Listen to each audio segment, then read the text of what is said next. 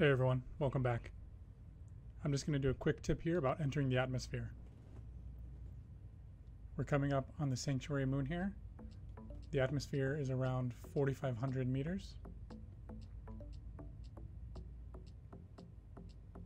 So when we're about getting close to that um, altitude, we want to be at around 1,000 kilometers an hour.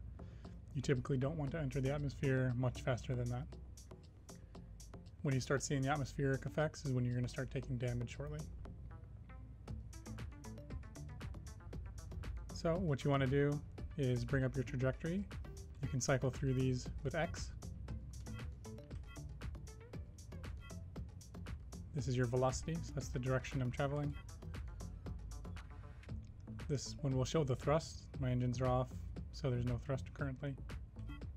And then your trajectory is this one.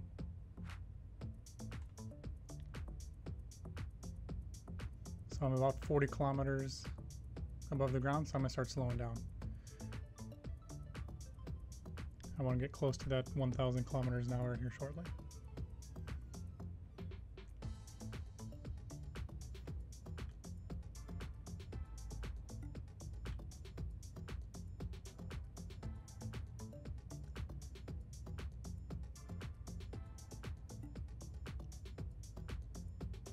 I'll keep it at about 3,000 until I'm a little bit closer here.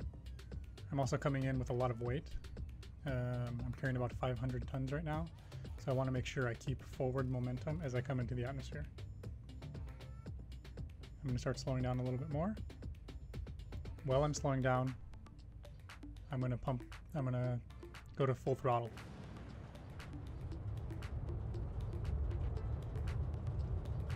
So now that I have full throttle, I'm at a thousand kilometers an hour.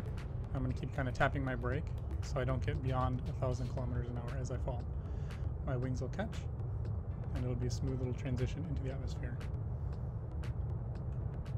Just like that.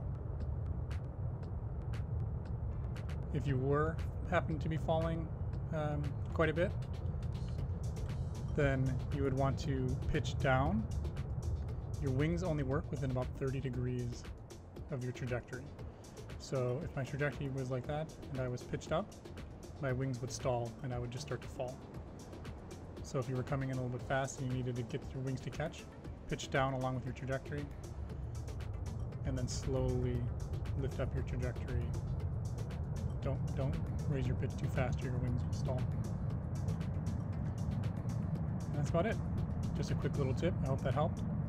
If you have any questions, um, feel free to leave leave them in the comments below. I'll also link our Discord below that you can join. There's lots of people in there that can answer any questions about any aspect of the game with Infinity Corporation. Thanks, guys. See you around.